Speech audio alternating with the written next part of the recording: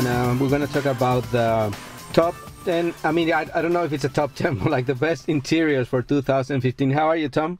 Good, good, very good. Thank you, Javier. No, thank you for taking the time to do this. Very interesting list as always. I mean, you've been doing this for a few years now, right?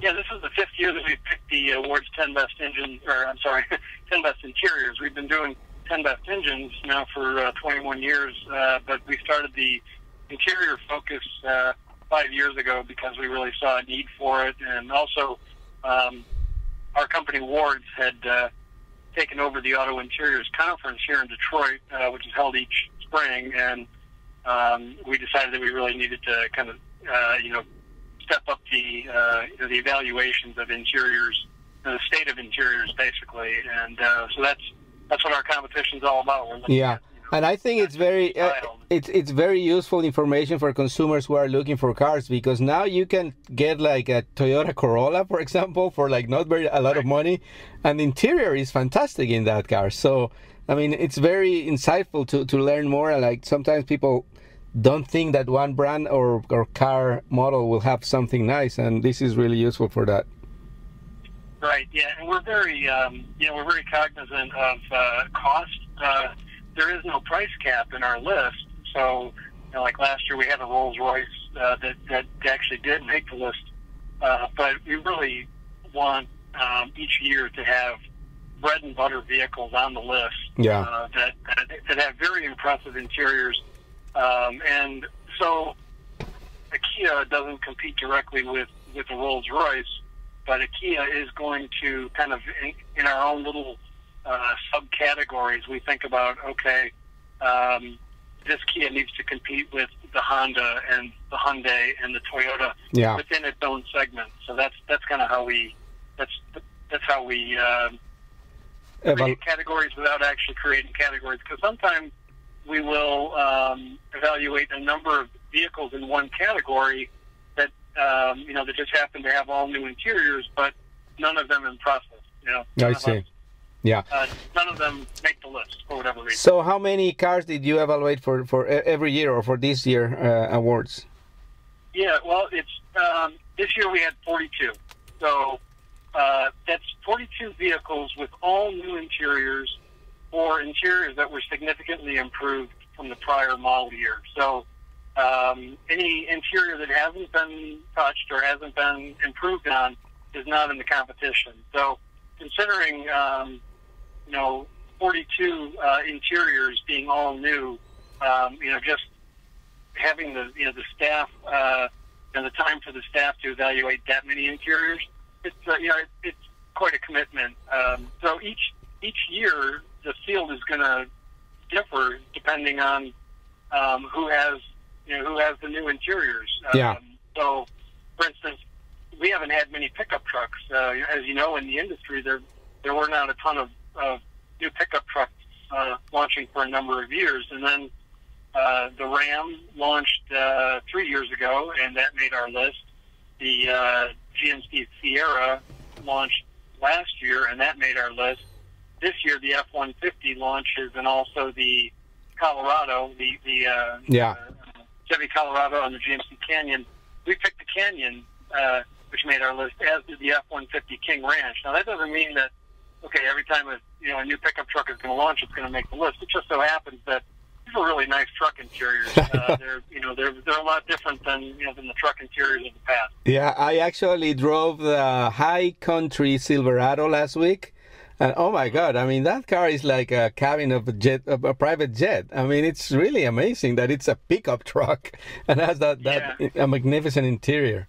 So, well, it's, you know, it's yeah. really fascinating what's happening in pickup trucks because uh, there's suddenly this emerging market for sixty thousand dollar pickup trucks. Uh, you know, the King Ranch uh, that, that that we just put on our list for the F one fifty, that was um, over sixty thousand dollars. The uh, the Ram 1500 Laramie Longhorn years ago that made our list. Again, that was $55,000. And apparently the automakers, they, they say, we can't make these things fast enough. We can't make these high-end trucks fast enough uh, because people really want them. People who, who are going to be towing horse trailers or expensive boats or whatever, they don't want a crappy old truck. I know. they want something something that really says something about them. So they they want the premium leather and the really nice wood and uh, you know a lot of electronic features inside as well. Yeah. So uh, speaking of which, uh, the criteria for it's like new interiors, but also I guess technology, as you just mentioned. Also, I guess materials and all that, right? So what else that you take into consideration? Yeah, we look at fit and finish. So you know, we look at build quality. We look at the seams. You know, where the where the headliner meets up with the uh, what we call the A pillar trim and the B pillar trim. The, basically, the, the pillars that hold up the roof of the car. Um, those those pillars, uh, you know, which which of course hold hold the mirrors in place or the, the windows in place as well. Those those pillars require a certain kind of trim yeah. that often will not match up with what's on the headliner, and it, and it you know of course won't match up with what's on the door trim either. So you know we look at those seams. How how well do they integrate all these different types of trim? Um, we look at color matching. You know, sometimes you see that that that colors don't always match on the interior. So, you know, we will mark down points for that. Oh, within the same materials, you mean, or like people's preferences? Because I've seen some cars that like the combination of colors is not, but I guess it's by choice sometimes, huh? Right, right. Yeah. Well, that, yeah, you're right. Uh, sometimes it's, you know, different, different colors or different materials. Say, you know, maybe there's a, there's a plastic that's supposed to mate up to another vinyl surface or, uh, you know, some some other surface, and, and it's supposed to look similar colored. And, and if it doesn't, that it's kind of off-putting. That, that's not what, what we like to see. But yeah. um, so so yeah, fit and finish. As I mentioned, value is one of our uh, you know is one of our uh, criteria.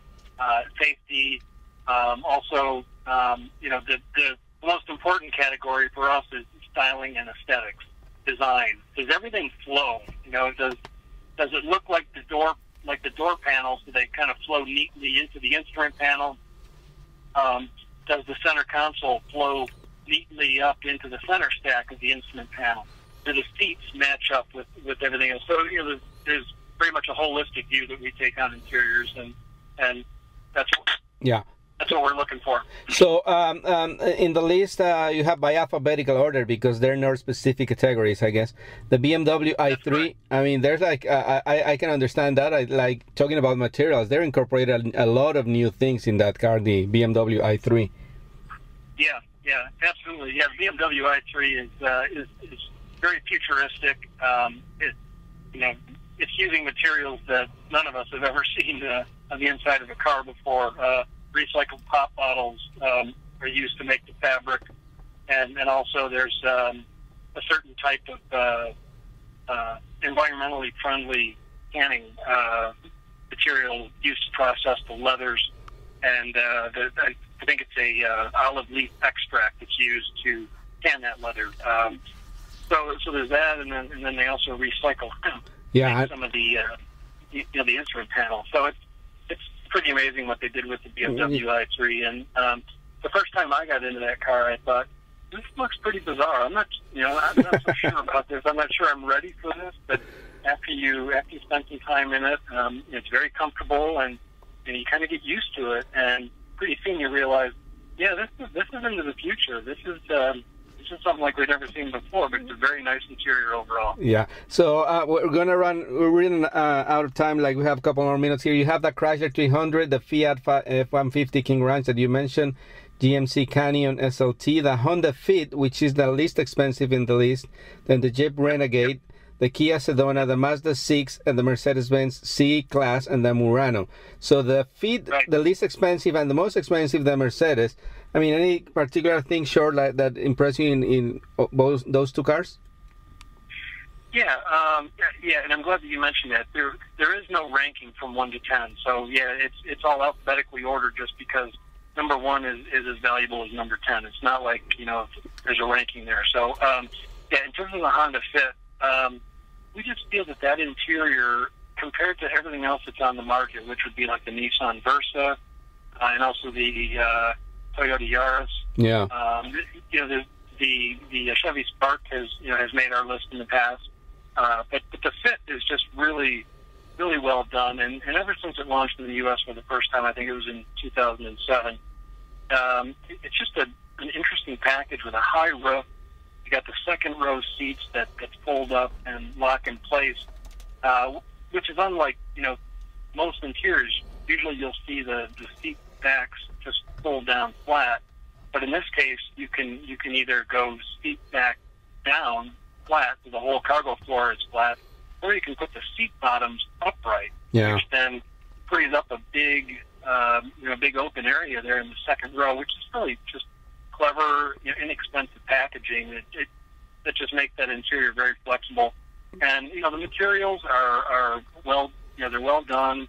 Uh, the fit and finish, as is always the case for Honda and for Acura vehicles, uh, you know, is first rate. Good fit and finish.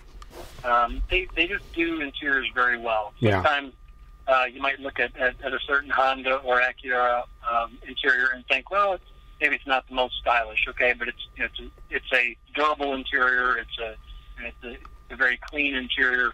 Um, the, the fit, in our opinion, is just you know one of the best Honda interiors. uh, Yeah, and very smart design, as you mentioned. So, uh, Tom, I'm sorry we're running out of time now. We're gonna publish all the list, also a link to your story on our website, so they can have it. Thank you very much for the information. I guess uh, people can uh, access wardsauto.com, right? Great, thank you very much. Thank you very much, and have a great day. Okay, thanks. Evan. Bye. Bye. Este programa fue una producción de National Latino Broadcasting.